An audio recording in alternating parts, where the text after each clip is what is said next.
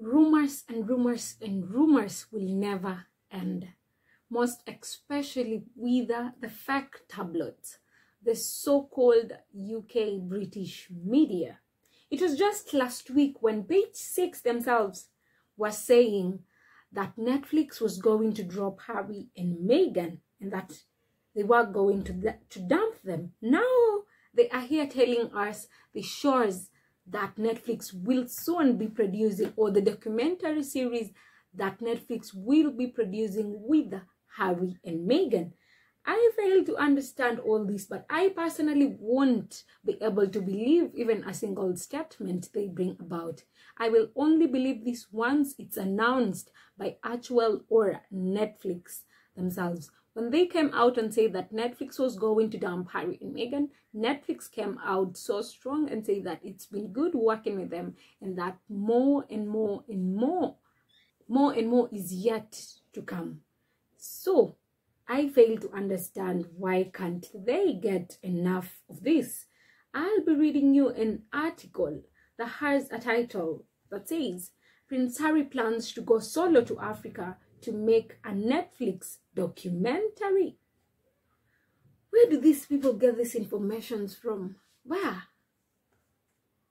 And Harry hasn't addressed even a single thing, but they already know this but i know very well they are just creating this for their own sake so as to be able to write articles so as to be able to please their audience the haters and the derangers out there the article states and it was written by Kaiser page six has a scoop on a future project for prince harry.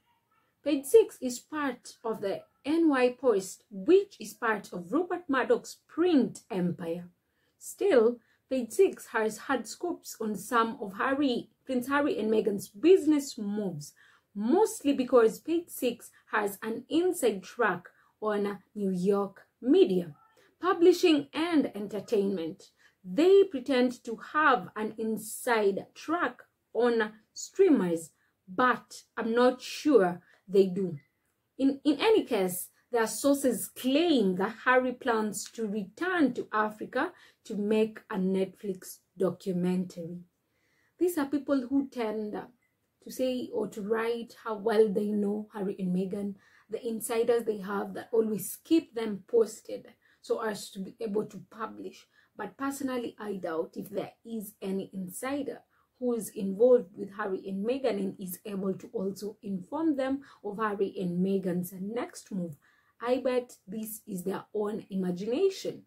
From page 6 also, this reminds me of the fact that Harry flew to Mozambique last summer and that the British media thought he was on a vacation at a luxury hotel, but it turned out that he was leading a congregational delegation through a multi-country tour of various conservations and environmental programs. Were the Netflix cameras all along the ride? We don't know. They need to tell us. The fact that they seem to know much, they also need to tell us about this. I wonder, probably not. But I it would bet that Harry has planned on doing documentary series about conversations projects in Africa for a while. The pandemic the pandemic messed things up and now the writers strike in adding it to the delay. I bet people should just be patient. I guess they need to just get relaxed and focus on things they know about rather than addressing or reporting things they know nothing about. That would be the best thing they would have done rather than just spreading rumors and lies to people outside here We've heard nothing about all this and we don't know. But we will soon know. Harry and Meghan are working out things. And we know very well they are not people who just show off. By the time they come outside with something, they would have sat down, come into an agreement and know very well this is what we want to present to people. And here we go. So I guess they just need to sit down, relax and wait to see what is next rather than rather than just creating their own imaginations and reporting it to people that's not right. I personally can't comment anything on this, but what I know is that Harry and Meghan are currently working on a very big and even massive project and it will soon be out and it's going to be a bombshell most especially to the haters the derangers and those who don't want to see harry and meghan succeed in one way or another. They'll be shocked.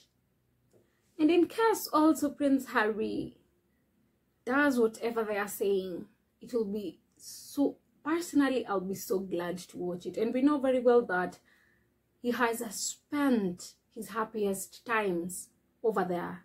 And it will be so so nice highlighting his african park or experiences in his documentary series. So it doesn't come to our surprise. He has such such wonderful connections in africa. And it will definitely definitely watch and i know very well it will sell even better than before Harry and Meghan are people who are so much organized, planned, well informed, and know what is best for people. And that's why I know very well whatever they are currently working for, it's going to be so, so, so nice. And somebody here wrote a tweet which I loved so much, and he said, Harry has a second family out there, people who practically raised him and are like brothers to him. He wanted Meghan to meet them and be accepted, and she was. I can see them both taking their kids and living there for a couple of months with or without taking a documentary. That's very true and obvious. If he feels like touring the country, touring Africa together with his family and kids, he would as well do that without taking any documentary. That would be just a peaceful family time that Harry is creating a bond together with his family. So either way, we are waiting for the best. Either way, we are waiting for what is next. Either way, we can't stop waiting. And personally, I'm so much patient on what is coming next. And I'll be so glad to watch whether it be a conservation program whether the, whatever the documentary will consist. Personally and i know majority of people out there will be so glad to watch it. I don't know what you feel about this but i guess the haters the derangers need to get focused on other things and let harry and meghan be. Harry and meghan are minding their own business so that's what they are also supposed to be doing as well and let harry and meghan be they should do their business in peace and let Harry and Meghan also be in peace. I don't know what you think about this, but page six is running out. It's just going out of track, also, I can say. They need to get something better to create and present to people rather than their own imagination. I don't know what you think about this. Just leave a comment down below. And that was our today's podcast. And thank you so much for tuning in. See you guys in our next podcast. And don't forget to subscribe, like, comment, and share. Bye.